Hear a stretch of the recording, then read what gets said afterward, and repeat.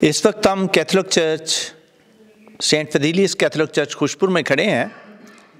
تو جسے پاکستان کا روم بھی کہا جاتا ہے، تو کیونکہ روم جو ہے، جہاں پوری دنیا کے جو ایک کیتھولک کا ہیڈ ہے، ہمارے پوپ صاحب جہاں بیٹھتے ہیں۔ تو میں بابو جی سے سوال کروں گا کہ مطلب کیوں خوشپور کو منی روم جو ہے وہ کہا جاتا ہے۔ کیونکہ یہاں پر بہت عرصہ پہلے کیتھولک مذہب جو تھا وہ شروع ہوا، جس کی بدولت آج تک یہاں پر کیتھولک لوگ اپنے ایمان میں مضبوط ہیں، قائم ہیں، جیسے وہ روم میں پاپا اعظم کے فرمان کو مانتے ہیں۔ اسی طرح یہاں پر جو بھی پیش پریسٹہ ہے، اس کے حکم کی تابعداری ہوئی ہے۔ اس کے علاوہ مطلب ہم دیکھتے ہیں کہ جو کیتھلک میں بہت ساری ایسی رسومات ہیں وہ بھی تو یہاں جاری و ساری ہیں۔ اس حوالے سے آپ کا کیا کہیں گے؟ کیونکہ بہت سارے جیسے ایسٹر کی جو ماس کی رسومات ہوتی ہیں، اس حوالے سے بہت مطلب وہ تلاوتیں ہونا، پھر بہت ساری جو دیگر آگ کا جلانا پانی پر برکت، بچوں کا بیپٹزم، اس طرح کے حوالے سے بھی آپ بات کریں۔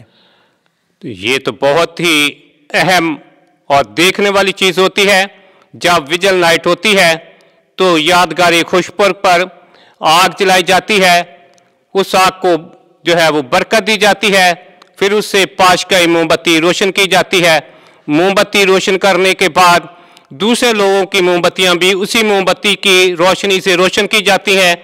پھر جلوس کی شکل میں یہاں پہاڑی کے سامنے آتے ہیں، جہاں پر بڑا پنڈال بنا ہوتا ہے۔ جب ہم راستے میں آتے ہیں، تو وہ راستے میں آتے ہوئے گیت جو ہے وہ گائے جاتے ہیں اور فادر جی ایک بہت ہی اہم نعرہ جو ہے وہ لگاتے ہیں، مسیحا تیرا نور چمکے، تو عام جو ہے جواب دیتی ہے، امن کا ترانہ ہو سب سے۔ تو یہ راستے میں تین دفعہ ہوتا ہے۔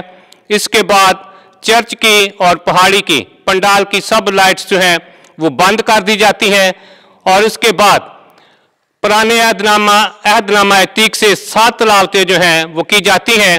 جن تلاوتوں میں کائنات کی تخلیق، حضرت ابراہیم کی قربانی اور بنی اسرائیل کا مصر سے نکلنا اور پھر دوسرے علیحدہ علیحدہ انبیاء کے حوالے سے یہاں پر ساری رہائی کی بات ہوتی ہے۔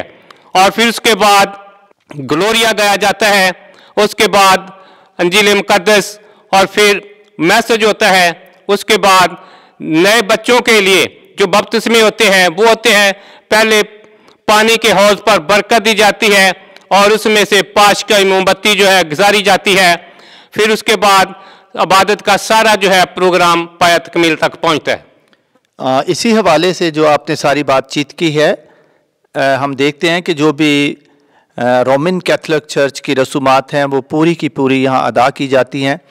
اور پھر جتنے بھی بہت سارے یہاں سے فادر صاحبان، ایک بشپ صاحب دو بشپ صاحبان بشپ، شہید بشپ ڈاکٹر جان جوزف اور very reverend bishop Rufin Anthony صاحب اور بہت سارے فادر، سسٹر صاحبات برادرز اور دیگر مطلب اہم عہدوں پہ مومنین جو ہیں، جو کہ پاکستان کے مسیحی عوام کی جو خدمت کر رہے ہیں، اس حوالے سے جو آپ نے بات چیت کی ہے، ہم دیکھتے ہیں کہ اس حوالے سے بہت سارے کام جو ہیں وہ سارا انجام دیے جا رہے ہیں۔ اور اسی لیے اس کو پاکستان کا جو ہے، وہ منی روم کہا جاتا ہے۔ یہاں سب سے بڑھ کر یہ بھی بات ہے کہ یہاں کیٹیکس ٹریننگ سینٹر ہے، جو کہ پاکستان جب سے بلکہ معذر وجود میں آیا ہے، اس وقت سے یہاں موجود ہے۔ تو جو فادر جی کے ساتھ کیٹیکسٹ کام کرتے ہیں وہ یہاں سے ٹریننگ کر کے جاتے ہیں۔ اتنے بھی منادہ ہیں۔ میرے دیکھنے میں میری سکسٹی فائیو ہوں، تو یہاں پر خوشپور کے مناد رہے ہیں۔ صرف ایک مناد تھا جو کہ ہمارے گاؤں کا نہیں تھا، بلکہ وہ دس چک کاڑا پیرش تھا۔ تو انہوں نے کچھ دیر یہاں پر خدمت کی، لیکن اس سے پہلے اور اس کے بعد جتنے بھی مناسبان یہاں پیرش میں رہے ہیں، وہ سب خوشپور ہی سے مجھ سے پہلے چار مناد ہیں جنہوں نے خوشپور میں رہ کر یہاں پر پیرش کی خدمت کی ہے اور اب میں جو ہے یہاں پر خدمت سر انجام دے رہا ہوں۔ ابھی ہم بابو جی سے ایک سوال کریں گے کہ جس طرح کبھی کبھی کوئی ڈیزاسٹر کی صورتحال پیش آ جاتی ہے، ہنگامی صورتحال ملک میں آ جاتی ہے، سیلاب کی وجہ سے، بارشوں کی وجہ سے، تو اس حوالے سے بھی ہمیشہ جو کیتھولک چرچ ہے، اس نے بہت کوشش کی کہ لوگوں کو اپنے پاؤں پہ کھڑا کیا جا سکے۔ تو اس حوالے سے میں بابو جی سے پوچھوں گا کس حوالے سے کہ کون سے ایسے لوگ تھے جنہوں نے اس ڈیزاسٹر کے یا مطلب جو اس طرح کا کوئی ہنگامی صورتحال ہو جاتی ہے، لوگوں کی امداد کے لیے کام کیا، ان کے ذرا متعلق بتا دیں۔ میں دو ہزار دس میں یہاں اس پیرش میں آیا تھا، جنوری کے مہینے میں۔ تب سے میں یہاں پر ایک کنٹینیو کام کر رہا ہوں۔ تو دو ہزار دس اگست میں، اگست دو ہزار دس میں یہاں پر رین افیکٹڈ ہوا تھا، جس کی وجہ سے گاؤں کے موسٹلی لوگ جو تھے وہ بے گھر ہوئے تھے۔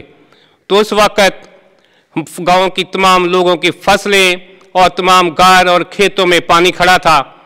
تب کاری تاس نے لوگوں کو سو گھر جو تھے وہ بنا کر دیے۔ دوسرے علاقوں میں بھی، اس کے بعد ہمارے بھائی کرامت جمیل جو کہ او سی ڈی کی طرف سے کام کرتے ہیں، انہوں نے بھی گاؤں میں بہت سارے لوگوں کی مدد کی۔ اس کے علاوہ گرد و نواح کے گاؤں میں بھی انہوں نے جو ہے خدمت، اسی خدمت کا کام جو تھا وہ سر انجام دیا۔ بلکہ انہوں نے وہ لوگ جو کھیتی باڑی کرتے تھے، ان کے لیے کھاد کا بھی انتظام کیا تاکہ ان کی فصلیں جو ہیں وہ اچھی ہوں اور وہ کامیاب ہو کر اپنی زندگی گزارے جی بابو جی بہت شکریہ کہ اس وقت گاؤں میں مطلب او سی ڈی کا آپ نے ذکر کیا۔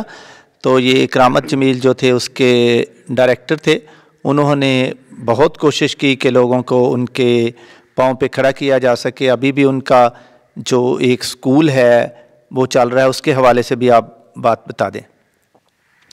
کرامت جمیل میرے ففیزاد بھائی بھی ہیں اور یہ ہمارے ساتھ نازم گنی کھڑے ہیں۔